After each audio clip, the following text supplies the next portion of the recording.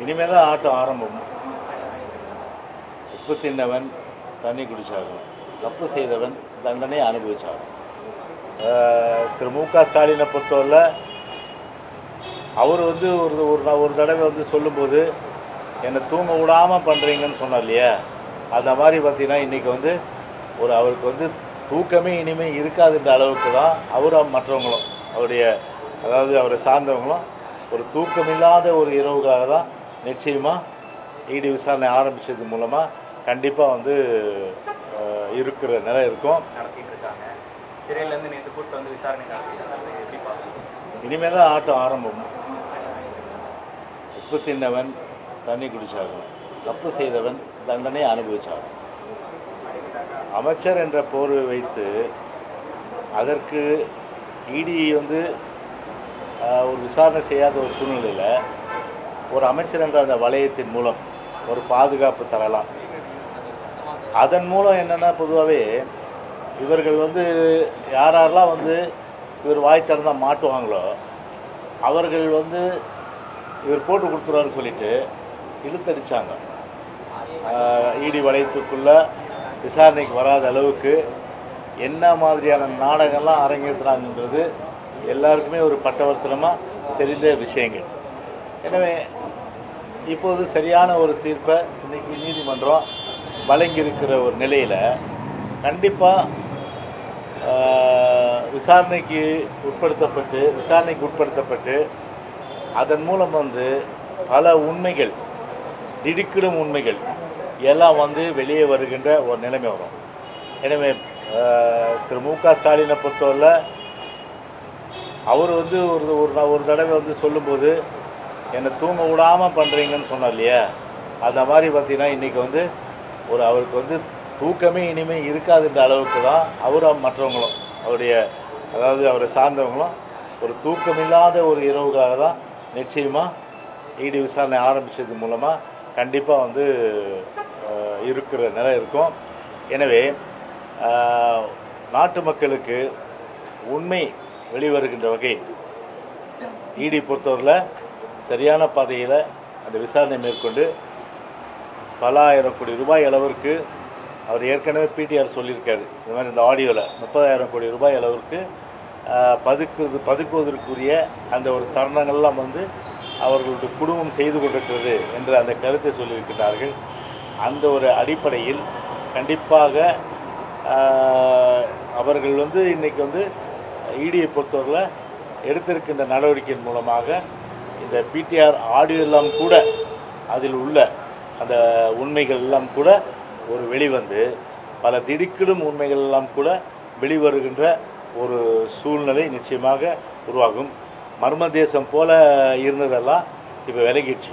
ஏன்னா ஈடியை பொறுத்தவரை மர்ம தேசத்துக்குள்ளே பூந்துடுச்சு அதில் மர்மங்கள்லாம் வந்து விரைவில் வெளியே வந்து ஒரு திரைக்கு வருகின்ற ஒரு சூழ்நிலை நிச்சயமாக செந்தில் பாலாஜி விசாரணை மூலமாக இடி விசாரணை மூலமாக வெளிவரும் என்று தெரிவித்துக் கொள்வோம் பத்தாண்டுகளுக்கு முன்னாடி நடந்த விஷயம். பழசே என்னங்க இப்போ இதில் அதாவது நீங்கள் ஒரு விஷயம் தெரிஞ்சுக்கிறீங்க ஒரு ஒரு டெண்டர் அதே போல் வந்து ஒரு அரசு உத்தரவு வந்து ஒரு சாரருக்காக நம்ம வந்து அரசு உத்தரவு போடுறது. இதெல்லாம் ஒரு அமைச்சர் கெப்பாசிட்டியில் செய்யுது ஆனால் ஒரு அமைச்சராக இருந்துக்கின்னு உனக்கு நான் வேலை வாங்கி தரேன் உனக்கு நான் வேலை வாங்கி தரேன் உனக்கு நான் வேலை வாங்கி தரேன் உனக்கு வேலை வாங்கி தரேன் உனக்கு வந்து மெக்கானிக் வேலை போஸ்டிங் போட்டு தரேன் உனக்கு டிரைவர் போஸ்டிங் தரேன் உனக்கு வந்து கண்டக்டர் போஸ்டிங் தரேன் போடுறதெல்லாம் ஜியோ போடுறாங்க. இதெல்லாம் வந்து ஒரு அரசு ஆணைக்கு அப்பாற்பட்டது. அரசு ஆணைக்கு அப்பாற்பட்டதுன்னு சொல்வது அவர் வந்து ஒரு தனியாக ஒரு அமைச்சர் இருந்த அந்த கெப்பாசிட்டியை வச்சுக்கிட்டு அவர் வந்து மிஸ்யூஸ் பண்ணியிருக்காரு. மிஸ்யூஸ்னால் என்னது? பவரை பவரை வந்து எப்படி மிஸ்யூஸ் பண்ணியிருக்காருன்னா வேலை வேலை வாங்கி தராங்க. வேலை இல்லாத திண்டாட்டம் இன்றைக்கி நிறைய இருக்குது இன்றைக்கி நாட்டில். அதை போக்குவதற்கு இந்த மு க. ஸ்டாலின் வந்து திரு மு க. ஸ்டாலின் எந்த நடவடிக்கை எடுக்கிறதில்லை வெறும் பொம்மை முதலமைச்சராக வெறும் பில்டிங் திறக்கிற வேலையை தான் பார்த்துட்டுருக்காரு அவருடைய தந்தையினுடைய புகழ் உலக தமிழ்நாடு முழுவதும் எங்கே திரும்பினாலும் எப்படி திரும்பினாலும் அவர் தந்தையினுடைய முகம் தெரியணுமா? தே தெரு பேருக்கெல்லாம் அவர் தந்தையுடைய பேர் தான் இருக்கணுமா? அந்த மாதிரி வந்து அவர் ஒரு நினைவு தினத்திலே போயிட்டு அவர் இப்போ தந்தையை பற்றி இப்போ இது மகிழ்ச்சியோடு இந்த திருநாள்ன்றார் இது. எப்படிப்பட்ட அதாவது அவர் இன்னைக்கு வந்து பார்த்தீங்கன்னா ஈடியினுடைய விசாரணையில் என்ன பேச தெரியாமல் உளறிட்டு இருக்காருன்னா நம்ம எடுத்துக்க முடியலாமா? அது வேறு விஷயம் விட்டுருங்க. இப்போ நான் சொல்ல வர்றது என்னென்னா அப்படி வந்து ஒரு செந்தில் பாலை தனிப்பட்ட முறையில் இந்த மாதிரி வந்து வேலை வாங்கி தரேன்னு சொன்னது அது வந்து ஒரு டெண்டர்லேயோ மற்ற இதுலேயோ கிடையாது. அப்படி இருக்கும்போது என்னென்னா பொதுவாக அம்மாவே வந்து என்ன பண்ணாங்கன்னா அதை அந்த நோட்டீஸ்க்கு வந்து அவங்க கவனத்துக்கு வந்து அமைச்சரை வந்து ரிலீவ் பண்ணிட்டாங்க. ஸோ கேபினெட்லேருந்து ரிலீவ் பண்ணிட்டாரு அவர் வந்து எம்எல்ஏ தான் அப்போ. ஸோ ஒரு எம்எல்ஏன்றது ஒரு கவர்மெண்ட் கிடையாது. ஒரு அமைச்சர் வேணால் கவர்மெண்ட் அவங்க வந்து எம்எல்ஏட ஒரு ரெப்ரசன்டேட்டிவ் ஸோ அந்த வகையில் வந்து ஒரு ஒரு ரெப்ரசன்டேட்டிவாக தான் அவர் இருந்தார். அதை வச்சு அவர் வந்து மிஸ்யூஸ் பண்ணதை வச்சு இந்த அம்மா பதவியில் வந்து இறக்கிட்டு அந்த அடிப்படையில் ரெண்டாயிரத்தி பதினெட்டில் வழக்கம் தொடர்ந்தாச்சு. இதில் என்ன இப்போ சம்மந்தம் இருக்குது சொல்லுங்கள் அது நாங்கள் நடவடிக்கை தானே எடுத்தோம். அதில் இன்றைக்கி பொறுத்தவரை என்ன சொல்லியிருக்கு சுப்ரீம் கோர்ட்டு இன்றைக்கி ரெண்டு மாதத்துக்குள்ளே வந்து உரிய விசாரணை செய்து நடவடிக்கை எடுக்கணும் என்ஃபோர்ஸ்மெண்ட்டு அப்படி ரெண்டு மாதத்தில் என்ஃபோர்ஸ்மெண்ட் டைரக்டரேட் விசாரணை செய்து நடவடிக்கை எடுக்கலைன்னா ஒரு special force special committee supreme கோர்ட்டே constitute பண்ணி நடவடிக்கை எடுக்கணும். ஸோ அந்த அடிப்படையில் வந்து இடியை பொறுத்தவரை வேகமாக நடவடிக்கை அதனால் முழுக்க முழுக்க வந்து அச்சம் கொள்ள வேண்டியது செந்தில் பாலாஜி. ஏன்னா அவர் தப்பு செஞ்சுருக்காரு. அதனால் கண்டிப்பாக அவர் வந்து அதற்கு ஒரு தண்டனை அனுபவிச்சார். ஸோ இப்போது பணப்பரிமாற்றம்லாம் எப்படியாலும் நடந்ததுன்னு சொல்லும்போது அவர் வந்து இந்த விசாரணையில் வந்து பல்வேறு உண்மைகள் வந்து சொல்லும்போது பல பேர் வந்து திமுக சார்ந்தவங்களை வந்து மாட்டக்கூடிய ஒரு நிலைமை நிச்சயமாக வரும். அந்த நிலைமை வந்து கண்டிப்பாக வருகின்ற ஒரு சூழ்நிலை திராவிட முன்னேற்ற என்னங்க? அதாவது இந்த ஆட்சியில் அவல நிலை முதல்ல எங்கள் ஆட்சியுள்ள சாதனைகள். அதாவது எங்கள் ஆட்சியில் சா புரட்சி தலைவர் காலத்துலேருந்து புரட்சி அம்மா காலத்துலேருந்து அந்த எடப்பாடி காலத்து சாதனைகள். இந்த ஆட்சியில் நடக்கின்ற அவல என்ன இன்றைக்கி பார்த்தீங்கன்னா இன்றைக்கினா வெடிகுண்டு கலாச்சாரம் சர்வசாதாரணமாயிடுச்சு இன்னைக்கு. ஒரு ஆளுங்கட்சியில் இருக்கிற ஒரு ஸ்ரீபெரும்புத்தூர் அந்த உள்ளாட்சி பொறுப்பில் இருக்கிற ஒரு தலைவி அவங்க பையனுக்கே இன்னைக்கு வந்து பாதுகாப்பு இல்லாத ஒரு சூழ்நிலை வெட்டி கொல்லப்பட்டிருக்கு வெடிகுண்டு வீசி கொல்லப்பட்டிருக்காங்கன்னா அப்போ வந்து தமிழ்நாட்டில் ஆளுங்க சார்ந்தவர்களுக்கே பாதுகாப்பு இல்லாத சூழ்நிலையும் எங்கே பார்த்தாலும் கொலை கொள்ளை ஆள் கடத்தல்லாம் கட்ட பஞ்சாயத்துலாம் சர்வசாதாரண நடந்துக்கு நிலையில் கண்டிப்பாக வந்து இதற்கு இப்போ கண்டிப்பாக வந்து இதெல்லாம் வந்து நாங்கள் வந்து இப்போ நாங்கள் வந்து தீர்மானத்தில் கண்டிப்பாக கொண்டு வர ஒரு சூழ்நிலை இருக்கும். கொண்டு வருவோம் கண்டிப்பாக கண்டனம் தெரிவித்து அது மட்டும் இல்லாமல் வந்து விலைவாசி அதே போல் பல்வேறு வகையில் எல்லா பிரச்சனைகளும் இன்றைக்கி தலைவிரித்தாத நிலையில் தமிழ்நாட்டில் ஒட்டுமொத்தமாக நடக்கின்ற அவல நிலைகள். அதெல்லாம் வந்து கண்டிப்பாக தீர்மானம். கொடநாடு விவகாரம் தொடர்பாக இடம்பெறுமா? ஏதாவது சமீபத்தில் ஓபிஎஸ் டிடிவி எல்லாம் ஆஹ், போராட்டம் அறிவிச்சிருந்தாங்க தமிழ்நாடு முழுக்க போராடினாங்க. அது தொடர்பாக ஏதாவது கண்டனம் இல்லைங்க அமாவாசைக்கு அப்துல் காருக்கு என்னங்க சம்மந்தம் ஆ? இது நடக்கிறது கட்சியினுடைய மாநாடு இது. மாநாட்டில் வந்து எங்கள் சாதனையை சொல்லுவோம்? இந்த ஆட்சியினுடைய அவல நிலையை சொல்லுவோம். இதுதானே ரெண்டு தானே முக்கியம் அதை அதை விட்டுட்டு வந்து இப்போ சம்மந்தம் இல்லாத அது கொடநாடா அது என்ன விஷயம்? நீங்களே சொல்லுங்களா அது என்ன தீர்மானம் அது? நாடாளுமன்றத்துல ஏங்க? எதுங்க?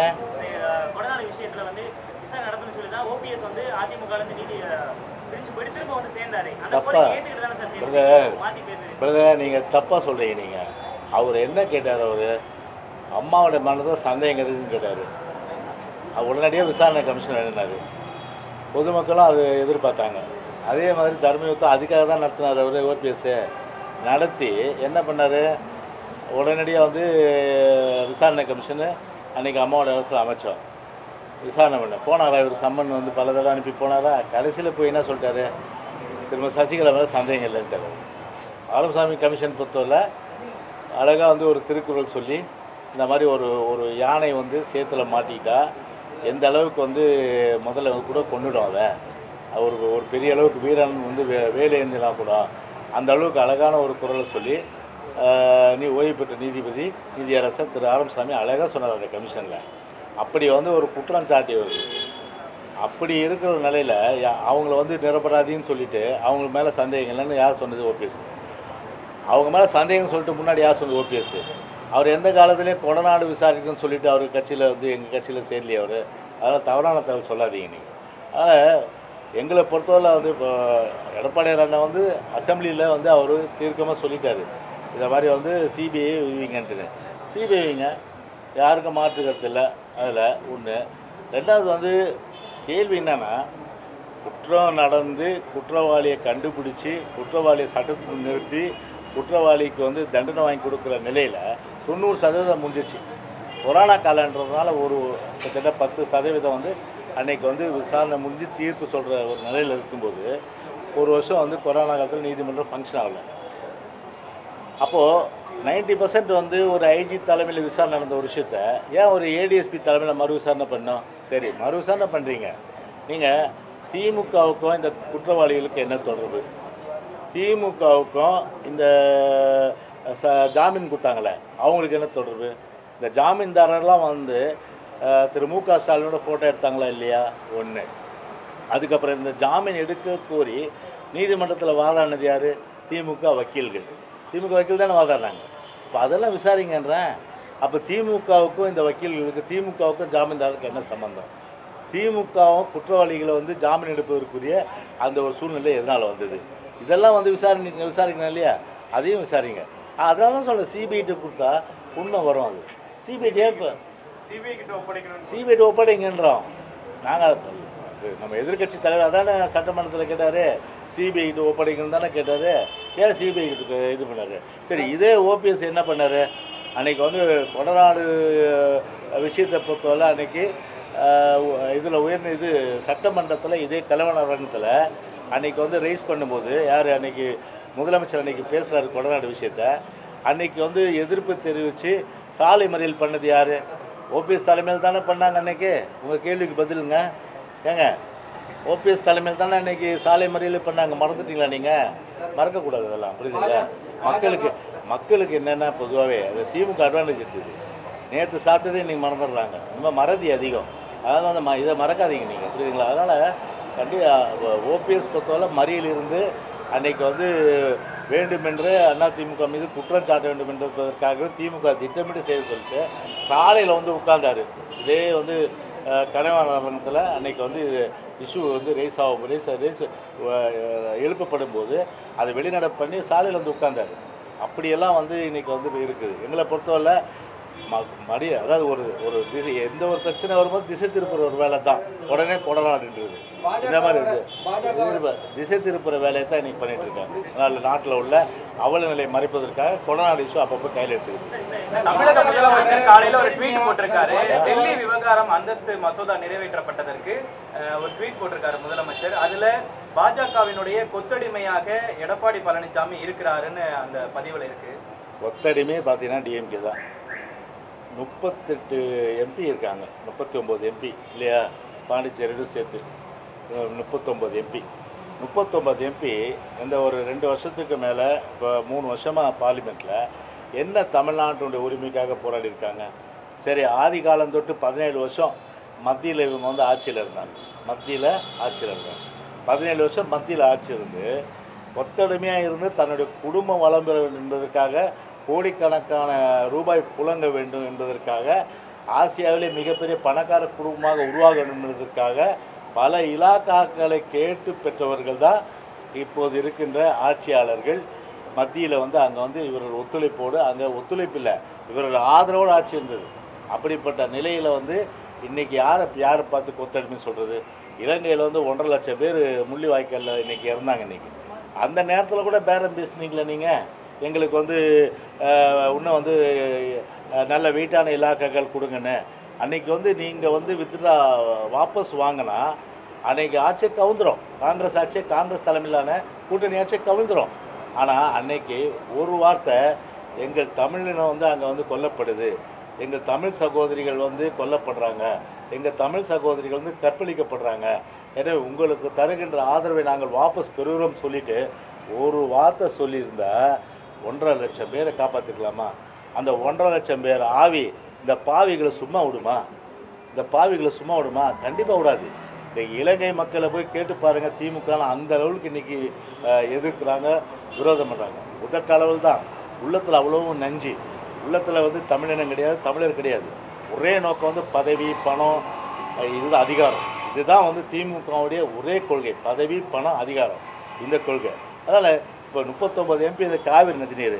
நம்ம சரி இவ்வளோ காலம் வந்து கிட்டத்தட்ட வந்து எத்தனை இப்போ இப்போ கடைமடை பகுதிக்கு தண்ணி போகல இன்றைக்கி மேட்டூரில் தண்ணி குறைஞ்சிட்டு இருக்கு ஜூன் ஜூன் ஒன்றுலேருந்து ஜூன் முப்பத்தொன்று வரல கிட்டத்தட்ட நமக்கு சேர வேண்டிய டிஎம்சியில் ஒரு பத்து பர்சன்ட் கூட வரலையே இன்றைக்கி தண்ணி இன்றைக்கி அதை கேட்டு போவதற்கு இவ்வளோ துணிச்சல் இருக்கா? அவங்க வந்து இது இதை வந்து பார்லிமெண்ட்டில் ரைஸ் பண்ணுறதுக்கு துணிச்சல் இருக்கா? இல்லை வந்து கர்நாடகாவில் வந்து இவருங்க வந்து போயிட்டு முதலமைச்சர் பதவி இருக்கும்போது போய் வாழ்த்து சொன்னார். அப்போ வாழ்த்து சொல்லிட்டு ஒரு ஒரு வேண்டுகோள். இல்லைன்னா வேண்டுகோள் வைக்கலாம்ன்ற ப்ரெஸ்ஸை பிடிச்சி ஒரு கண்டனமாக தான் அந்த நான் அந்த கர்நாடகா மாதிரி தெரிவிச்சுட்டு வந்துருக்கலாம்ல? கண்டனம் கூட தெரிவிக்கலை. சரி இங்கேருந்து திரும்பவும் வந்து பார்த்தீங்கன்னா கூட்டணி கட்சி போகிறார் இதே திரு கெஜ்ரிவால் வந்து அன்னைக்கு டெப்டி இது சிஎம்ஆர் இருக்கும்போது சிஎம்ஆர் இப்போ இன்றைக்கி சிஎம்ஆரில் சூழ்நிலை. இன்னைக்கு டெல்லி குறித்து ஒரு மசோதா வந்து அதிகாரத்தை குறைக்கணும்னு கொண்டு வந்தால் காங்கிரஸ் ஆதரவு தந்தால் மட்டும்தான் காங்கிரஸ் எதிர்த்தா மட்டும்தான் நான் ஆதரவு தருவேன். இந்த கூட்டணி சொல்லிட்டு வெளியேறினார் இல்லையா? அதே மாதிரி ஒரே வார்த்தை என்ன சொல்லியிருக்கணும்? நான் வந்து கூட்டத்துக்கு வர முடியாது. எதிர்கட்சி நடத்துகிற கூட்டத்துக்கு என்னுடைய மாநிலத்துடைய உரிமை. இரநூத்தஞ்சு டிஎம்சி தண்ணீர். அது வந்து ஏற்கனவே வந்து அம்மா எங்கள் அம்மா வந்து பெற்றது. அது அது குழுக்கெல்லாம் போடப்பட்டு அது முறைப்படி அதுபடி நீங்கள் வந்து தண்ணீர் எங்களுக்கு சேர வேண்டியதை எந்த வித நிலுவை இல்லாமல் கரெக்டாக நீங்கள் அனுப்புனீங்கன்னா நான் வந்து கூட்டத்துக்கு வருவேன். இல்லைன்னா வரமாட்டேன். அப்படின்னு சொல்ல ஒரு வாய் தர சொன்னீங்களா நீங்கள் என்ன வாயில் போண்டா வச்சுருந்தீங்க இங்கேருந்து போய் போண்டா சாப்பிட்டுட்டு டீ சாப்பிட்டுட்டு அங்கே போயிட்டு சிரித்து மகிழ்ந்துட்டு வர்றதுக்கு தான் வந்து தமிழ்நாட்டு மக்கள். இல்லைன்னா இது கொத்தடிமை. அங்கே போய் வாய் மூடி பேசாமல் இருக்கிறது கொத்தடிமை அங்கே இதுக்கெல்லாம் வந்து வாய் மூடிய மௌனமாக இருந்துட்டு அன்னைக்கு முப்பத்தெட்டு எம்பியும் காவிரிக்காக அன்னைக்கு போராடினது யார் அன்னைக்கு? இருபத்தி நாலு நாள் அன்னைக்கு பார்லிமெண்ட்டை சபிக்க வச்சோம். திமுகவில் முடிஞ்சுதா? திமுகவில் முடிஞ்சுதா?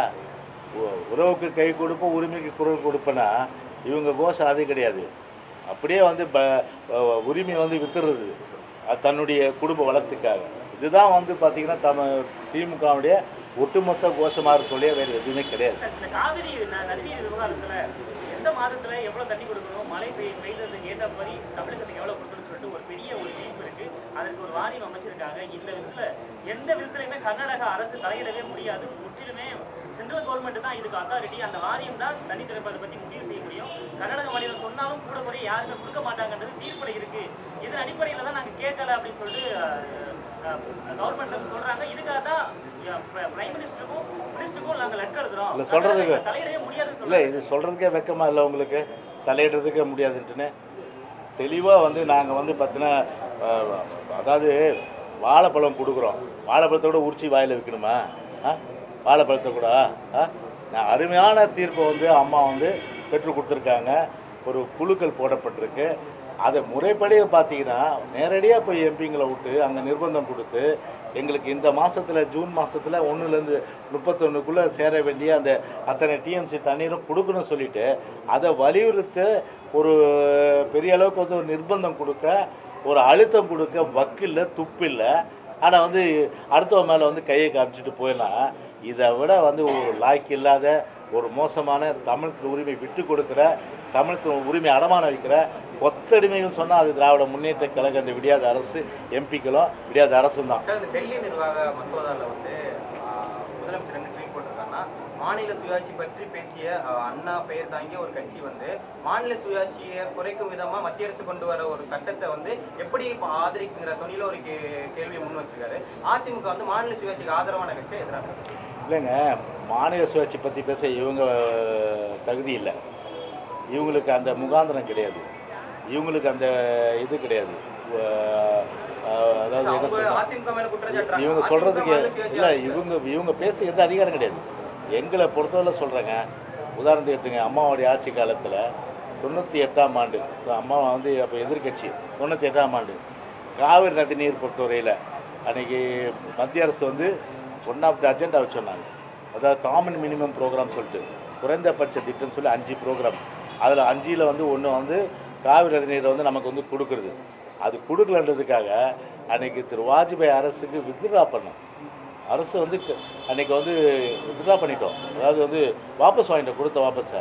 அன்னைக்கு தொண்ணூத்தொம்பதில் மறுநாள் மறு மறு எலெக்ஷன் வந்ததில்ல தொண்ணூத்தொம்பது நடந்தது இது. அப்படி பதவிக்காக நாங்கள் இல்லை உரிமைக்காக நாங்கள் அதுதான் முப்பத்தெட்டு எம்பியை நாங்கள் வந்து குரல் கொடுத்தோம். அந்த மாநிலத்து உரிமை எங்களுக்கு தெரியும். அதில் அது கிட்டத்தட்ட அமித்ஷா என்ன சொல்லியிருக்காரு பார்லிமெண்ட்லேயே? பல முறை வந்து பார்த்தா அது கிட்டத்தட்ட நேருலேருந்து அதே போல் பல அமைச்சர்லாம் பல முக பல பிரைம் மினிஸ்டர்லாம் கூட பார்லிமெண்ட்டில் என்ன பேசியிருக்காங்க? பொதுவாக வந்து பார்த்தீங்கன்னா இந்த ஒரு இதாக அதிகாரங்கள் வந்து இந்த நிலையில் தான் இருக்கணும்னு சொல்லிட்டு அவங்க சொன்னதை தான் சொல்லியிருக்காரு. இன்னும் அந்த அடிப்பில் தான் நாங்கள் ஆதரவு கொடுத்தோம். ஓகே?